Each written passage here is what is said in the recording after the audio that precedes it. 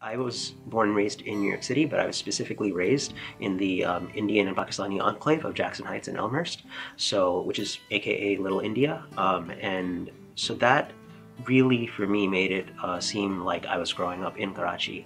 The the language that I heard all the time, every single day, um, in the streets, uh, in the markets, everywhere was the language uh, that I spoke at home was Urdu and Hindi.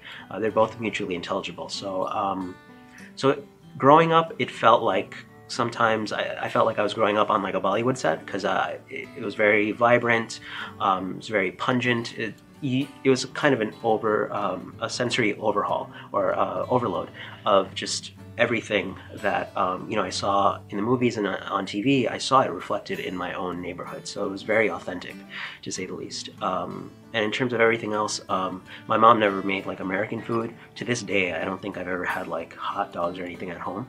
Um, I grew up eating biryani, roti, kebab, stuff like that. So I grew up in a very cultural and, and um, kind of religious household.